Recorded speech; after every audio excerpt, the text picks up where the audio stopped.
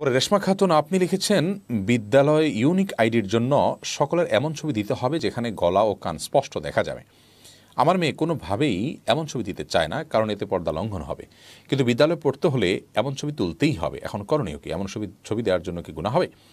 বোন রেশমা, আপনার এই মেয়ের জন্য আপনার প্রাউড ফিল করা উচিত। আল্লাহ তালা আপনার মেয়েকে আরও বেশি দিনের পথে অগ্রসর হওয়ার এবং টিকে থাকার তফিক দান করুন। আমরা দোয়া করি। আর যে প্রতিষ্ঠান আপনার মেয়ের পর্দাকে লঙ্ঘন করতে বাধ্য করবে। সেরকম প্রতিষ্ঠানে আপনার জন্য সেই সন্তানকে পড়ানো আসলে জায়জ নয়। এর বিকল্প প্রতিষ্ঠান ইসলামিক বাপধারার প্রতিষ্ঠান আপনার খুঁজে বের করার চেষ্টা করা উচিত।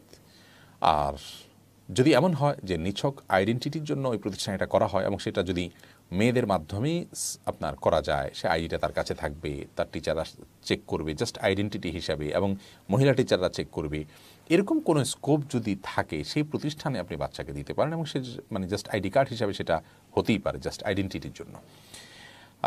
কিন্তু আপনার সেখানে যদি পর্দার কোনো তোয়াক্কা না থাকে, নারী পুরুষের কে দেখছে, কার কাছে যাচ্ছে, না যাচ্ছে, সবার সামনে ওপেন এটা থাকছে, বিভিন্ন জায়গায় প্রচার করা হচ্ছে, তার মানে প্রাইভেসি লঙ্ঘন হচ্ছে, তার পর্দার বিধান লঙ্ঘন হচ্ছে, এরকম প্রতিষ্ঠানে আসলে সন্তানকে আমাদের দেওয়া জায়েজ নয়।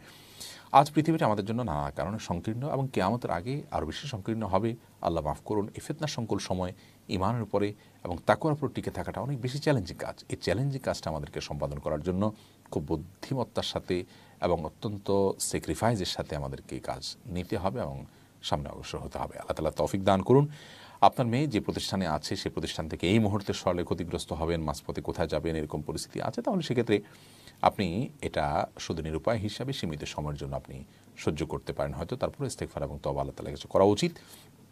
এবং যথাসম্ভব চেষ্টা করা উচিত যে আইডি কার্ড শুধুমাত্র মেয়েরা মেয়েদেরটা চেক করবে, মেয়েরা মেয়েদেরটা তৈরি করবে জাস্ট আইডেন্টিটির জন্য থাকবে। সেটা যদি কোনোভাবে আপনি এনশিওর করতে পারেন, তাহলে ইনশাআল্লাহ বিদিনিল্লা আপনি এটি করতে পারেন।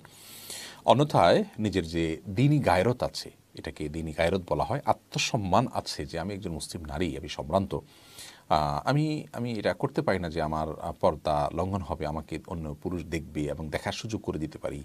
সে বাজে চিন্তা করার কোনো একটা স্কোপ তৈরি হতে পারে। সেই স্কোপ তৈরি করে দেওয়া, এটা কোনো আত্মসম্মান বোধ সম্পন্ন নারীর কাজ নয়।